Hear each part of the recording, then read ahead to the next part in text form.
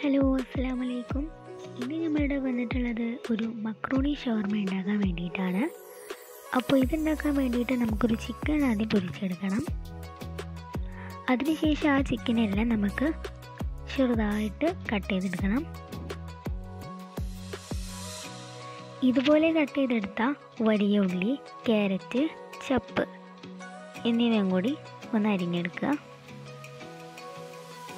എന്നിട്ട് നല്ലതുപോലെ മിക്സ് ചെയ്യാം വേറൊരു പാനിലോട്ട് വെള്ളം എടുത്തിട്ട് അതിലേക്ക് മക്രോണിയും ഉപ്പും ഇട്ടിട്ട് നല്ലതുപോലെ വേവിച്ചെടുക്കുക.